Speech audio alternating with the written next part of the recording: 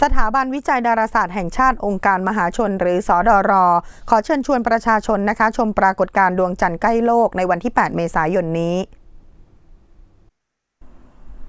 สถาบันวิจัยดาราศาสตร์แห่งชาติองค์การมหาชน หรือสอดอรอ กระทรวงการอุดมศึกษาวิทยาศาสตร์วิจัยและนวัตกรรม เปิดเผยว่าวันที่ 8 เมษายน จะเกิดปรากฏการณ์ Super Full Moon ดวงจันทร์เต็มดวงใกล้โลกที่สุดในรอบปี มีขนาดใหญ่และสว่างกว่าปกติเล็กน้อย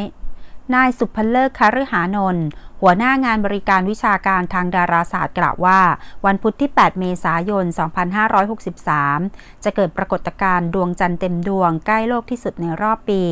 หรือ Super Full Moon ห่างจากโลก 357,022 กิโลเมตร หากเปรียบเทียบกับดวงจันทร์เต็มดวงช่วงเวลาปกติ จะมีขนาดใหญ่กว่า 7%และสว่างกว่า 16%สังเกตได้ด้วยตาเปล่าทางทิศตะวันออก ตั้งแต่เวลา 17นาฬิกา52 นาทีเป็นต้นไป จนถึงรุ่งเช้า ผู้ที่สนใจสามารถรอชมและเก็บภาพความสวยงามของดวงจันทร์ได้ในคืนดังกล่าว ดวงจันทร์จะโคจรรอบโลก เป็นรูปวงรีหนึ่งรอบ ใช้ระยะห่างเวลาประมาณ 1 เดือน ดังนั้นในแต่ละเดือนจะมีตำแหน่งที่ดวงจันทร์ใกล้โลกที่สุด มีระยะห่างเฉลี่ย 357,000 กิโลเมตร และตำแหน่งที่ใกล้โลกที่สุด มีระยะห่างเฉลี่ยประมาณ 46,000 กิโลเมตร การที่ผู้คนบนโลกมองเห็นดวงจันทร์มีขนาด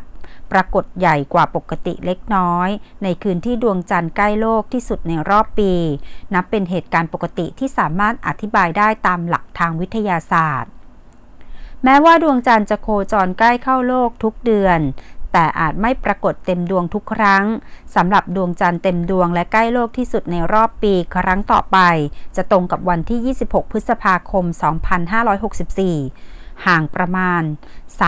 370,000 7,454 กิโลเมตรค่ะ